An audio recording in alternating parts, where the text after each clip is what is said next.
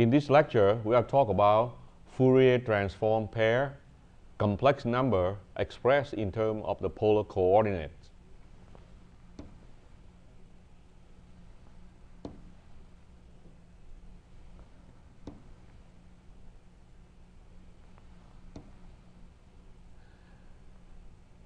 in the Cartesian or rectangular coordinate, in the Cartesian or rectangular coordinate, any complex number c tilde k, for example, can be expressed as the real part, which is r sub k, plus the imaginary part, capital I sub k, times small i.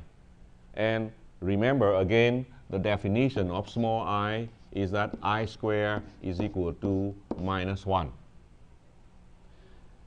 However, if we express the complex number instead of in the Cartesian or rectangular coordinate, if we express that complex number in the so-called polar coordinate, then that complex number c tilde k can be expressed as equal to an amplitude equal to capital A times e raised to the power i theta.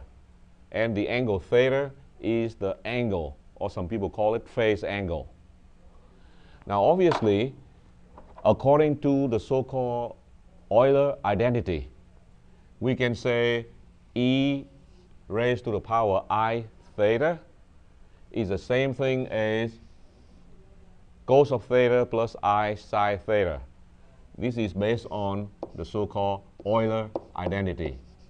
We refer to this relationship very, very often, Euler identity.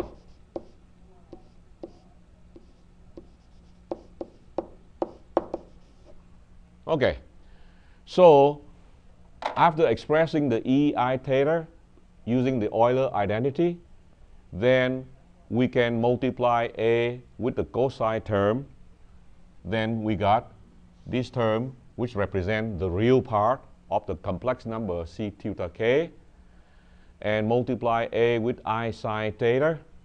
Then we got the second term which is a sine theta represent the imaginary part of the complex number c tilde k. Now, in order for you to understand the, how to express the polar coordinate of the complex number, the next slide probably will help you a little bit better. As you can see on this picture, the horizontal axis that you have here represent the real component of the complex number, let's say r sub k. And the vertical axis represent the imaginary component of the complex number k. So if you have any complex number, it can be represented by, let's say, any complex number c or c tilde. That can be represented by the amplitude a, which is like show like the radius of this circle, the amplitude a, and also expressed by the phase angle theta. That angle right there is theta. So in polar coordinate, the complex number c can be expressed in terms of the amplitude a, which is the radius in this case, and the phase angle theta. On the other hand, for the same complex number, if you express that in terms of the Cartesian coordinate, then that complex number c can be expressed by the real component, which is r sub k, and the imaginary component, which is i sub k. Okay? So a complex number can be expressed either in terms of the polar coordinate or in terms of the rectangular Cartesian coordinate. Obviously, there's a relationship between the two systems because for the real component r sub k, which is this distance right here, r sub k is equal to amplitude A times cosine of the phase angle theta. And similarly, the imaginary component in the Cartesian coordinate i sub k is given by a sine theta.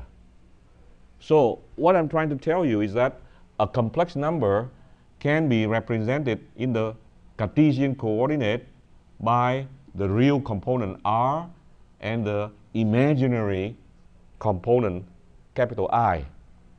Or it can be expressed in terms of the polar coordinate such as amplitude A and the angle theta. Amplitude A and the angle theta. And the two systems, rectangular coordinate and polar coordinate, they are related by those two equations. Okay. According to the definition like that, then we can say r squared plus ik squared is equal to what? Well, from the previous picture, you can see the real part rk squared plus the imaginary part ik squared should be equal to a squared. As a matter of fact, if you look at the two formula here, rk equal to a cos theta, ik equal to a sine theta. So if you take the real part rk, you square it, and then you take the imaginary part ik, you square it, and then you add together, what you have will be rk square plus ik square is equal to, this is rk square, and this one is i capital Ik square. When we add up together, we can factorize the term a square. You can factor it out, which is in here. And what you have left is cos square theta plus sine square theta. And we all know cos square theta plus I sine square theta is equal to 1. So basically, just say rk square plus ik square is equal to a square. Or, or we can say the amplitude A is equal to the square root of the real part rk square plus the imaginary part ik square. So if we know the real part rk and the imaginary part ik of a complex number, then we can find out the amplitude A very easily. Now, the next thing is, how do we find out the phase angle theta?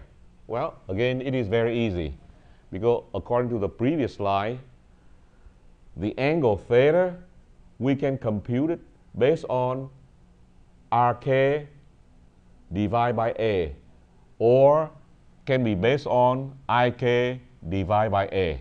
So from those two formula, either of the two formula, we can find out the angle theta. And that is exactly what I show you there.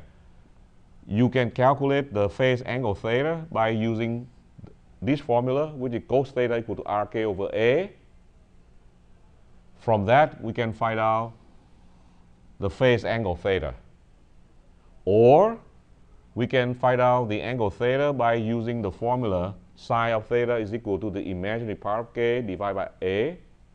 And from that, we can find out the phase angle theta as well. So in principle, we can find out the angle theta either by the first formula here or by the second formula here. But in practice, you have to be very careful as you will see in the example that I will explain to you in the next few slides. So to summarize it, if you have a complex number, let's say complex number C, you can express that in the rectangular Cartesian coordinate by specifying the real part rk and the imaginary part ik. Or alternatively, you can also express the complex number by figure out the amplitude A and the phase angle theta. So